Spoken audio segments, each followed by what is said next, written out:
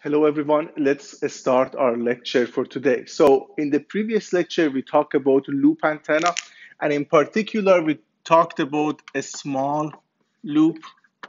This one has a circumference less than lambda by 10, and we also talked about full wavelengths loop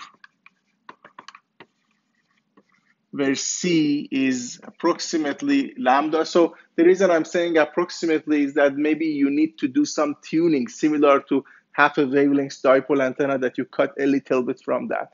So, but we call it full wavelengths uh, loop antenna. So the main difference was when you look at the current distribution of a small loop, so the current is uh, what like what you had in, for example, ECE 3580 for a loop but then you go to full wavelengths loop antenna, then the current distribution is more complicated. So you get something like this, and uh, this becomes your current distribution. So keep this in mind that current distribution is different, and the consequence of that is that this antenna here on the axis has a null, this antenna on the axis will have a maximum. So that's what we had in the previous lecture. Now, in today's lecture, we're not going to discuss these two antennas. We're mainly going to focus on this small loop antenna here, and uh, we're going to be focusing on this, and we're going to try to find its radiated fields, E and H. So let's start with this. And to, so the, this is not going to be discussed, and the one that we're going to be discussing would be this one. So let's start with the coordinate. So I'm gonna I'm gonna assume that the loop is in the xy plane. So this is gonna be, for example, my loop. Let's assume the radius, for example, is a, and this is my loop. This is the transmission line that brings the power to this loop. I made it a little bit larger so that you can see it better, but you know that the loop is small, small with respect to wavelengths. So this would be the current on the loop that we have. And now we need to uh, find its far field ENH. Now, to start, you know that our first step is to find magnetic vector potential.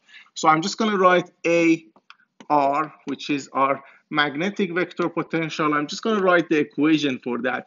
Mu naught 4 pi, you remember it's JR prime e to the power of minus jk r minus r prime, then r minus r prime dv prime.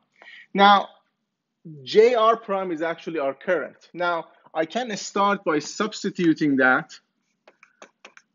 So what is my current? First of all, the current is uniform because it's so small. If you look at, for example, short-circuited transmission line, this is the current distribution. So if you take a, a small piece of that, you see this variation is so tiny. So you just take it to be uniform. So it's I naught, for example. So we take it to be I naught. Remember, this is a phasor because we need time varying currents for radiation. So this is my I naught. And what would be my J? First, remember that J is a vector. So I naught would be I naught phi hat because remember, this is actually going in the phi hat direction. I mean, this is not quite phi hat because if you remember, this is your phi hat. This is my phi hat direction. So this is actually negative of a phi hat. It doesn't matter, I can put a negative, but just to be consistent with my notes, I'm just gonna change the direction to this direction so that I'll be consistent. So this is I naught phi, I naught phi hat. Something regarding phi hat that's important. Look at phi hat. At different locations, phi hat changes the direction. For example, compare this one with this one. They're not identical. It's different than, for example, z hat. If you have z hat, all of these guys are z hat. So you see z hat doesn't change, but this one changed. Therefore, we need to be careful when we are using a unit vector we chart for angles like phi hat, theta hat. And because we need to be careful, I'm going to be consistent with the coordinate, with the convention that I mentioned. I'm going to use prime coordinate. So, so prime coordinate for source, And this phi hat is for my current. So I'm just going to put phi prime hat to know that this is essentially part of my source. Now, if I do that, so now I have I naught phi prime hat. And then what would be my E minus JK R minus R prime?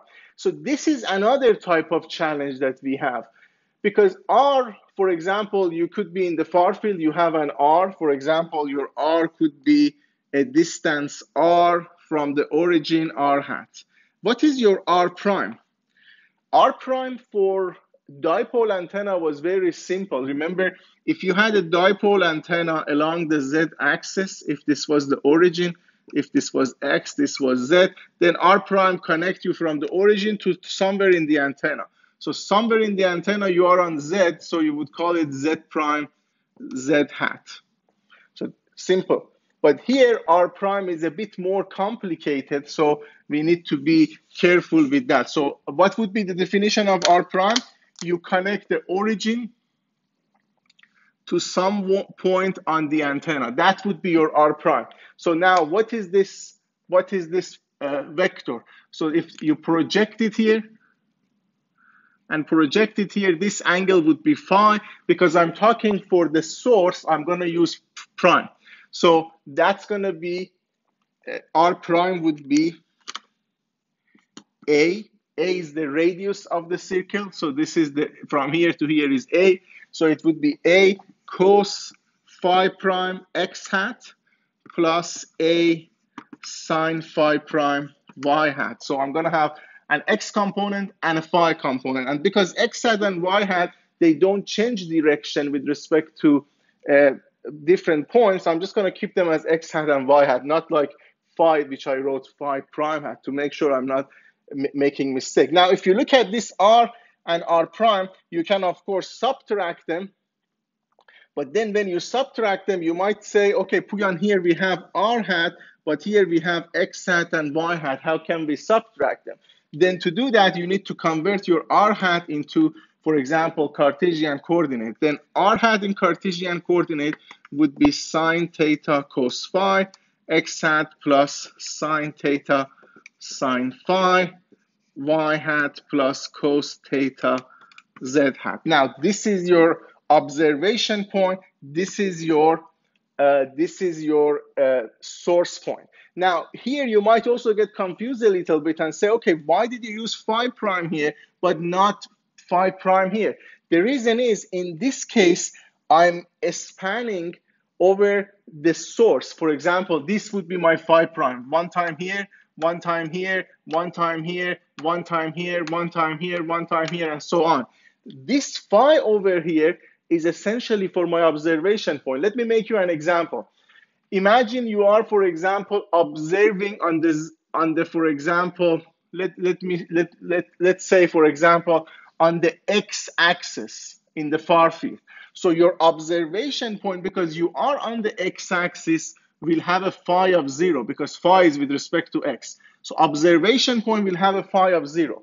But when you are calculating this, because you need to integrate all of these tiny sources on the loop, your phi prime can start changing from zero all the way to 360 back. So phi is fixed for a fixed observation point, but you need to integrate over phi prime because phi prime is your sources. So these two are not identical. So now you have this r minus r prime. You can place, you can put it here, and then you can you can assume it's far field. This is a small to do some simplification on that. And the other thing that's a bit complicated here is that this phi prime hat is actually part of integration. Remember in dipole antenna, when I wrote I naught z hat, I told you you can take this z hat out of integration.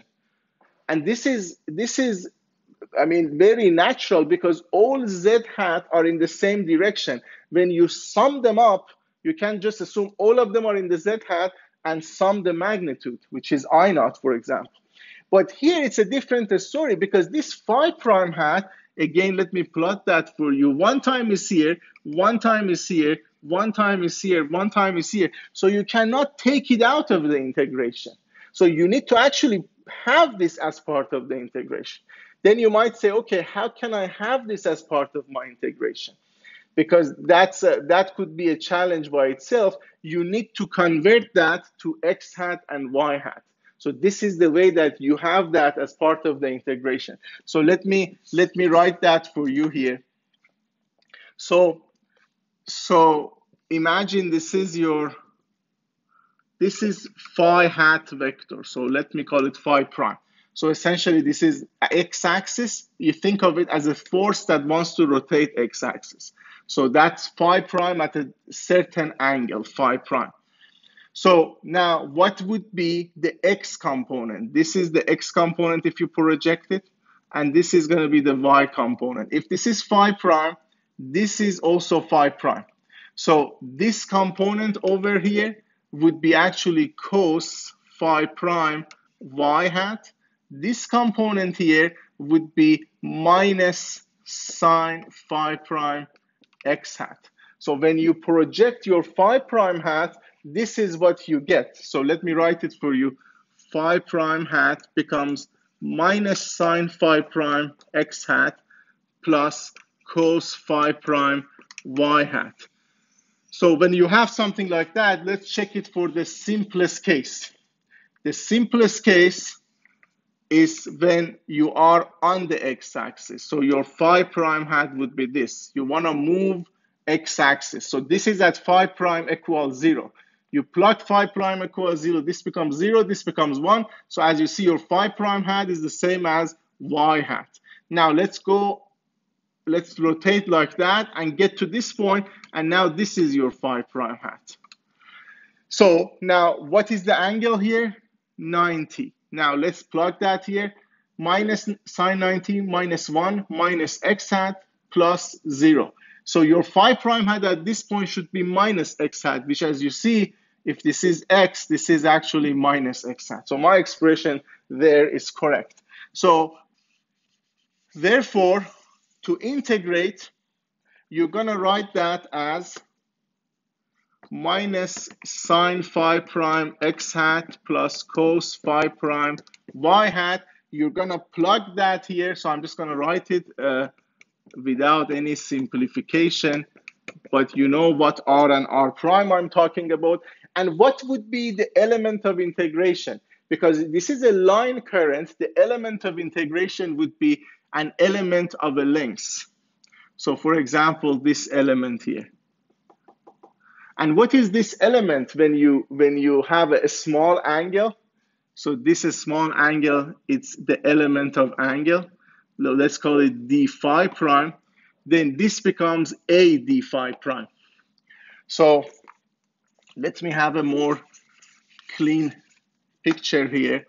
So if you have a circle and this is an element of length, a small, this because this is a small, this angle is a small, we call it d phi prime.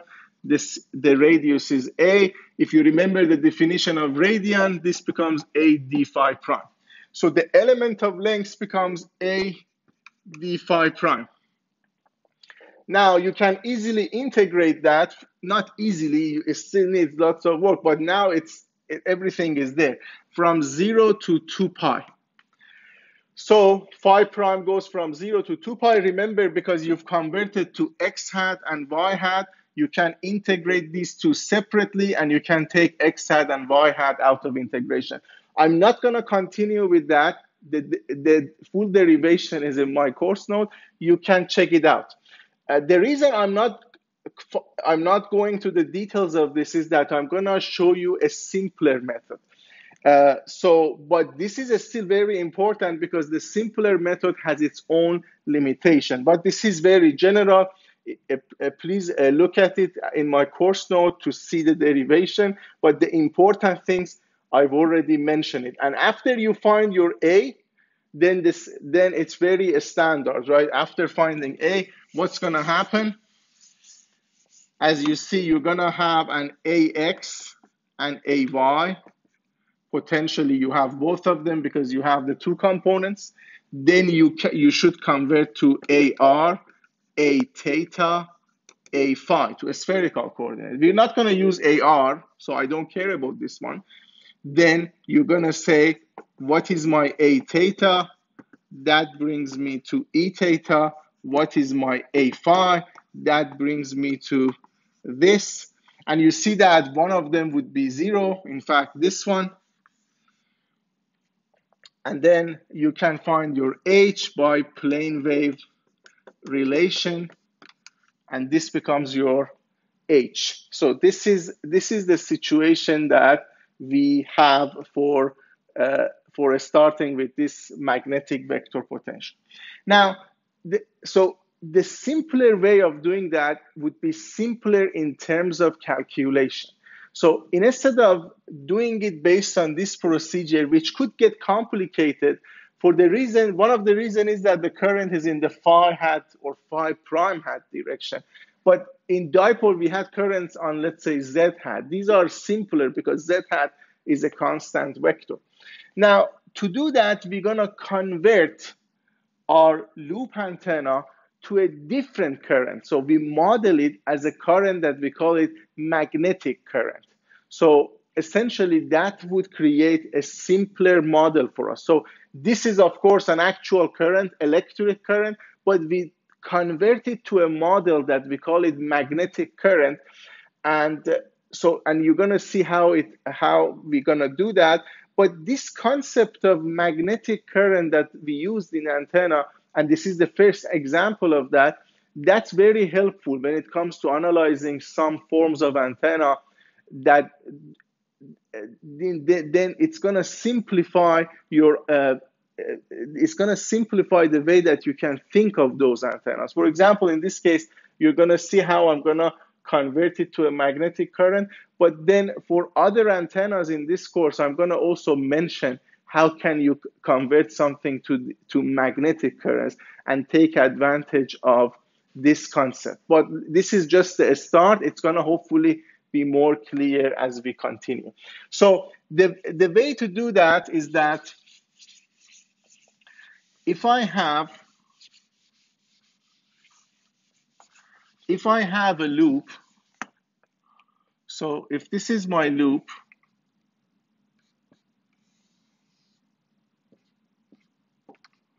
And this loop has to be a small loop. So th this one that I'm teaching right now doesn't work for your uh, one lambda loop. This is for a small loop. So you, you know that you have a uniform current I naught, then you would, okay, you would say, okay, what is the direction of magnetic field that is generating? It would be along the Z axis. So you said, okay, I'm gonna replace this antenna by an equivalent model. And this equivalent model is gonna have what we call magnetic current along the z axis. So like that. So you see, when I use two arrows in this course, I mean magnetic current. So it's the it's actually it was an electric current, but then we had some maybe hard time analyzing it with electric current. We could always do that, but let's say we wanted to go a simpler approach, so we convert it to magnetic current. So essentially we say, okay, this is in this direction, therefore this would be the direction of magnetic current. If I change the direction of my loop, that you need to find the direction of, uh, again, magnetic, corresponding magnetic field, and then you have the direction of magnetic current. So if this is gonna be Z, this is gonna be X, this is gonna be Y. So loop is in X, Y, so magnetic current would be along Z. So and then I usually write it with the subscript L, M. So to say this is IM. Electric current, I usually just write it as I, or if I want to emphasize when I have them beside each other, I might say I electric, electric current. That's the actual current that we have. This is our model. So we might model different things with magnetic current. So this is the model, this is the actual thing. Now, so you convert it to let's let's say magnetic dipole because now it is it is like a dipole you have in phase current in the z direction or if you want i can plot it like that too and two arrows to say this is like a magnetic current in the z direction or instead of having this excitation gap I could just plot it like that. Both of them are the same thing. Sometimes I do that, sometimes I don't, but th that's the same thing. So this and this, I'm using this interchangeably. So this is my magnetic current. And then you also remember for dipole antenna, what was important was the, the current on the dipole and the length of the dipole. But what is the, when I convert this to this model, what is the length? We have an equation for that. The equation says IML is equal J, J is for imaginary number, S area of the loop, omega mu naught I or I naught, the actual current of the loop. So you see, if I know the area of my loop, which is pi a squared, if I know 2 pi f, permeability of free space, I naught, the actual current, I can have Im times L. At this point, you might object that you just know multiplication of these two. But if you remember your dipole, or to be uh, precise here, if you remember your electric dipole, you remember that the thing that mattered was actually when I had the electric dipole like this, infinitesimal dipole, if this was current I naught, at the end what was important was this area under this curve, which was I naught times the length of the dipole, I naught L. So current times length was what important. So at the end for this one, I don't need Im separately. I need Im times the length of this model, which I already have based on my actual current and the area of the loop antenna. So this is what I have. So you agree with me that I now have my Im times its length. So it's a magnetic dipole with uh, the current, magnetic current times length equal to this. Okay, now you might say how it helped me. I would say the way that it helped you was that this is now the current is more complicated, but this current is just along the Z axis and it could help us. But this is not the only reason. The concept of magnetic current can also be very useful when we are thinking of design. And I try to elaborate on that later on in this course. So now remember, because this current was uniform, it was a small loop, this IM is also uniform. So it is not going to be like half a wavelength dipole antenna like that or a small dipole like this it's actually like infinitesimal dipole where the current was uniform. So this is our uniform current, magnetic current here. Now, so when, when you are dealing with electric current, what, what is the procedure to find the far field? This is the procedure. You find A as mu naught divided by 4 pi J r prime e to the power of minus jkr minus r prime r minus r prime dv prime. So this is the first step. You find what we call magnetic vector potential. Magnetic vector potential. That's the first step that you have with electric current. So this is here was electric current and if I want to be careful, I should say electric current density in this equation. Now, when you have magnetic current, you have almost exactly the same thing, but with magnetic current. So you have an auxiliary function called f of r, and instead of mu, now you have epsilon naught permittivity, 4 pi, and then you're going to have magnetic current density, and then this was the Green's function of free space or transfer function. So free space is just free space is there. So you're going to get the same thing. So now this was called magnetic vector potential when we are dealing with electric current. Now this is called electric vector potential, this auxiliary function that we have here. It's called electric vector potential, and this is your magnetic current density. This is your model. This is your actual current. So then what was the next step here? You would say, okay, after finding that, find E theta as minus J omega, A theta E phi as minus j omega A phi, and ER, we know that it's zero. So that was the next step here. What would be the next step here? Almost identical. We would say H theta is minus j omega F theta. H phi is minus j omega F phi, and HR is zero. So that was, that's, this would be the structure here. And what is the next step here? Actually, final step. You just find H from E based on plane wave equation.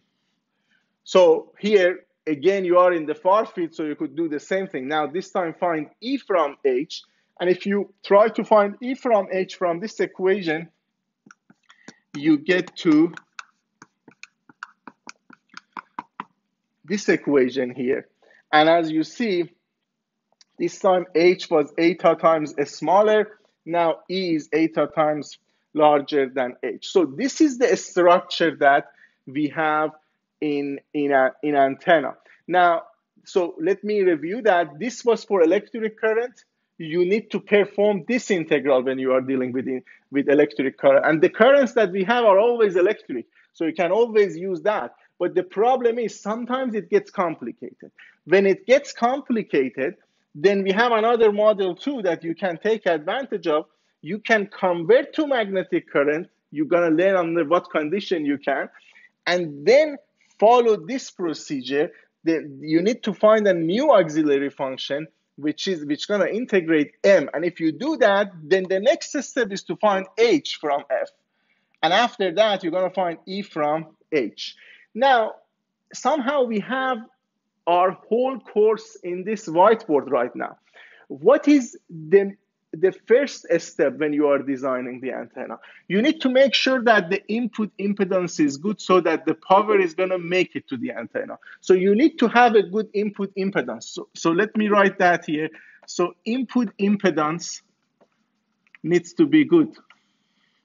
And then when you look at this structure here, if you modeling your antenna, if you're using electric current, you need to make sure that you're using electric currents in a way that you get a good A, because this is a summation of electric currents. So you're summing up some electric currents. So if they cancel the effect of each other, you essentially get no A, and then you get nothing. So you need to make sure that you have some J that's helping each other toward a good A and then here. Now, if we go to this structure, if I model everything in terms of magnetic current, you see that everything is a summation, integration of magnetic current multiplied by some weight. So you need to make sure that this summation would give you some, some good F so that you get the desired radiation that you want. So this is essentially our course uh, the, the main the, the, the fundamental aspect of our course that we need to make sure this is checked and then we need to somehow create j or m that's going to be helping us toward getting desired a desired f so that it ends up to the radiation that we want so that's our that's our structure that we need to find our uh, f in this case. So now we need to go and apply this to to find the far field of this loop antenna. So instead of using this for the loop antenna, I'm gonna be using this to calculate the far field of loop. So I convert my loop to this, and then I'm gonna use that. So that would be my procedure. Convert this to this using the equation that says IML is JS omega mu naught I and then use this to get to my far field E and H for the small loop antenna. So that would be what we're gonna do in the remaining part of this lecture. Okay, so let's uh, continue with this and check how we can calculate this F. So let me clean up the whiteboard a little bit and start writing these equations. Okay, so let's say this is my z axis, this is my x axis, this is my y axis, and then I'm gonna have my IML here. So this is current IM and I know the length. So I know the multiplication of that. So let's start with my F. F is going to be epsilon naught 4 pi and it's going to be the magnetic current IM. And remember, this magnetic current is now in the Z hat direction. So I'm going to have it in the Z hat direction.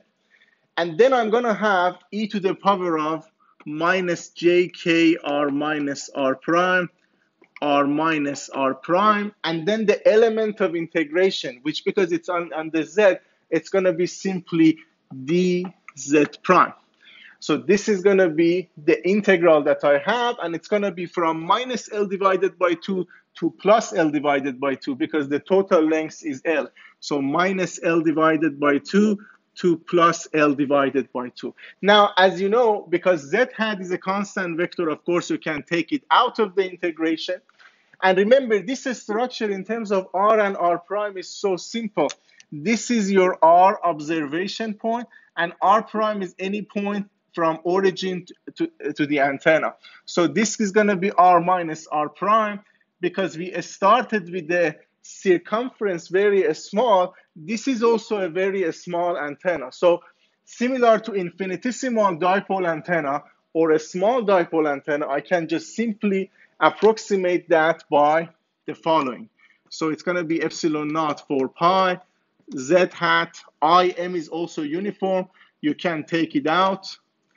And then this is going to be minus jkr, r according to according to our approximation and then d z prime. So if that's the case, you could have, you could see that this is also independent of dz prime. That's, again, we approximated this with this. So that's going to become epsilon naught 4 pi i m e to the power of minus j k r r. And then we're to have z hat z hat d z prime minus L divided by 2 to plus L divided by 2. This is to be L. So that's to become epsilon naught 4 pi I m length e to the power of minus jkr r z hat. So this is what we have. And as you see, now we have im times L, the total length that we already had. So this is what we needed and we, we have it here. So IML and this is the IML. So this is my electric vector potential F at observation point R and I have it here. So remember, this is now completely known because I know that IML according to model is J, area of the loop, omega mu naught I, and I naught is the current, the actual current of the loop. So this is my F, I have it. Now I need to proceed to the next step. But before proceeding to the next step, remember next step requires F to be in a spherical coordinate. So I need to convert that to a spherical coordinate. So let's let's do that. So if you remember, this is the conversion FR, F theta, F phi.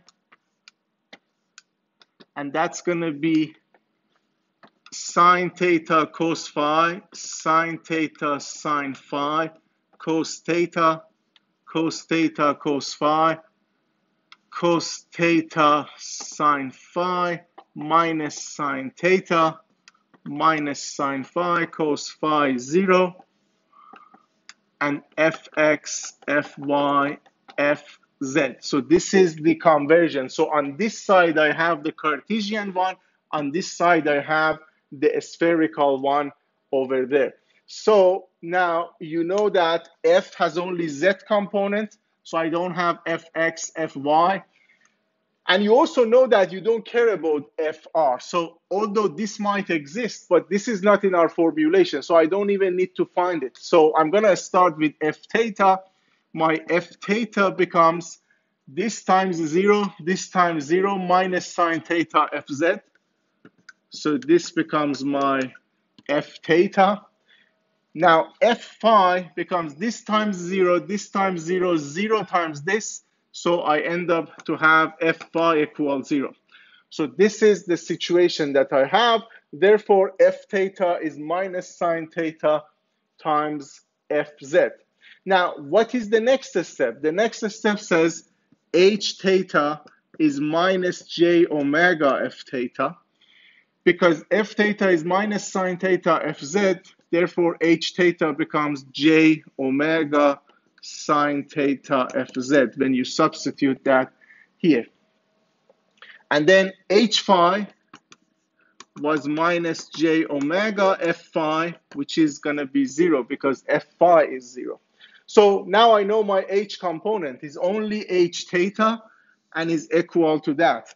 Therefore, I can just write it here that my h theta is going to be j omega sine theta times fz. And this is my fz, which is epsilon naught 4 pi IML e to the power of minus jkr r. That's going to be my h theta that I have here.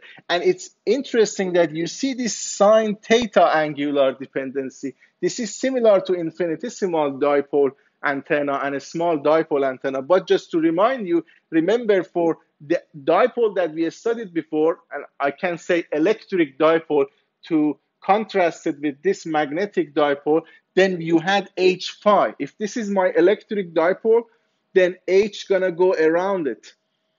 But then if this is now magnetic dipole, the one that we have here, then this is gonna be your H. H is H theta. Again, this is for electric dipole that we studied earlier. This is your H, H phi. And now this is H theta would be for the magnetic dipole in this case.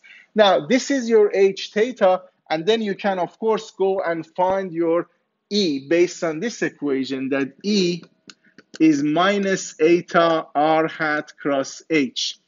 And your H is H theta theta hat. So it's a theta uh, component. So you, we know that r hat cross theta hat is phi hat. So we're going to get minus eta phi hat h theta. So this is going to be r e. So I can just substitute that here and see what we're going to get in this case. So let's let's do that. So uh, my e becomes e phi becomes minus eta times h theta, which is going to make it minus j omega eta sine theta epsilon naught 4 pi i m l e to the power of minus j k r r. That's going to be my e phi in this case. And again, I'm going to have my sine dependency in this case. So, so this is something that uh, you can you can easily observe, and then we can do some simplification on this to make it to make it a little bit easier and we can we can see that uh, and as, as I simplify this equation more.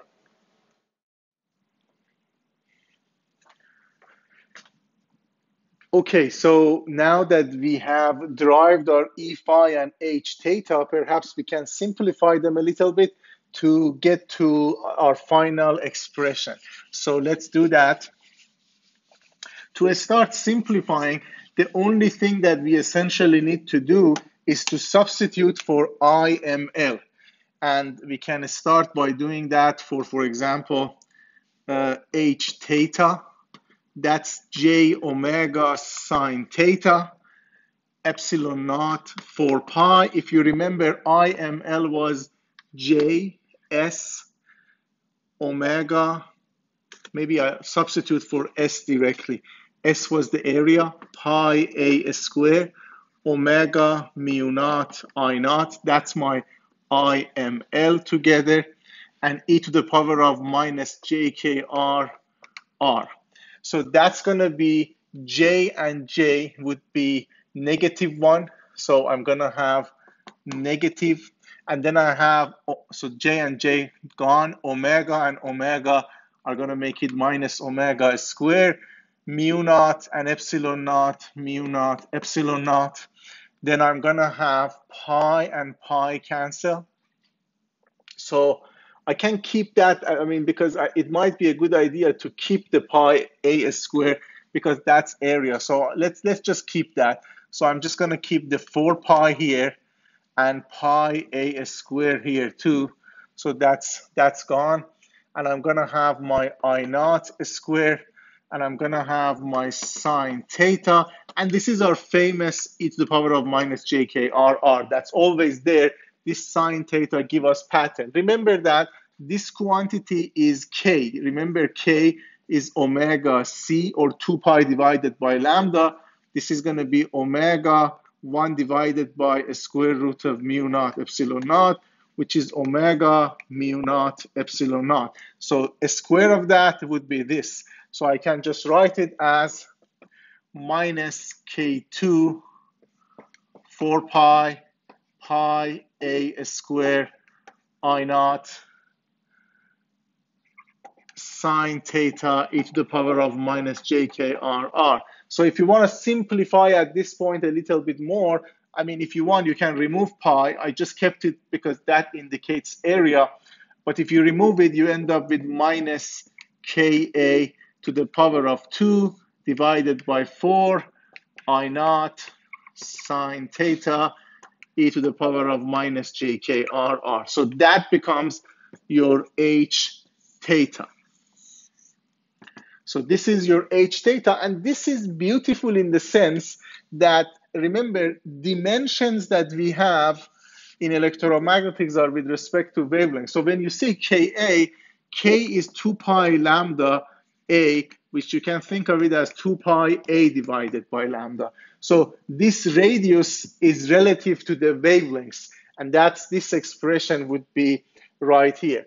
So this is my H theta, now, I can go to E phi, and if you look at your E phi, the only thing that, that happens here is that you're gonna have a negative sign here that you didn't have here, and it's gonna be eta times larger. So I, I can just multiply by minus eta, and I get my E phi. So my E phi becomes minus eta times that, and that's gonna bring me eta ka square 4 i naught sine theta e to the power of minus jkr, r. That becomes my e phi.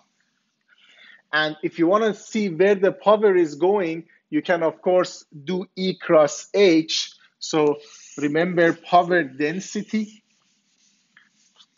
Power density is half E cross H complex conjugate. Now, if if you have this, you can see that it's going to be half E phi phi hat because this is phi cross with H theta complex conjugate, of course. Then theta hat. This is theta. Now, what is phi hat cross theta? This is r hat, theta hat, phi hat, like that. So if you do phi hat cross theta and you go reverse, you get minus r hat. So this gives you minus r hat. So you might think that now you're going in the minus r hat direction. Remember, if this is r, this is minus r hat. These are all minus r hat. But obviously this is not correct because it's radiating outward. So it should be plus r hat. So the thing that you're missing and you this is the reason that uh, it's going to become plus r hat is because of this negative sign that we have here. So phi hat cross theta hat is going to give you minus r hat, but because you have a negative sign here, that becomes plus r hat. So the power is outgoing in the plus r hat direction. So that's a that's essentially a side note here. Now we could calculate this, and if we calculate it, this is going to become Okay, so so far we arrived at, at this E phi and this H theta that I wrote here, and we mentioned that we would like to calculate power density. So let's start that. W becomes half E cross h complex conjugate. So if you start multiplying that, this becomes half. You have a half here, you have 4, you have 4 here. So 4 and 4, 16 times 2, 32. You get your 32 here. And then you have eta, and then you're going to get ka to the power of 4. And then you're going to have your I naught square. You're to get your sine square. And you're to have your R2 here. Remember, e to the power of minus jkr from e times h complex conjugate, that becomes e to the power of plus jkr when you complex conjugate it. So it becomes e to the power of j0, which is 1. So that's why it's not there. So this is our W. So I have my W and uh, base and remember the direction. So I have phi hat cross theta hat. Phi hat cross theta becomes minus r hat. With this negative sign, it becomes plus r hat. So the power is radially outward.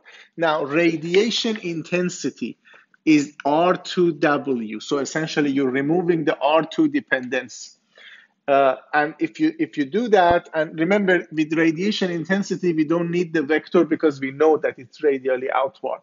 It becomes 1 divided by 32 eta ka to the power of 4 i naught squared sine 2 theta.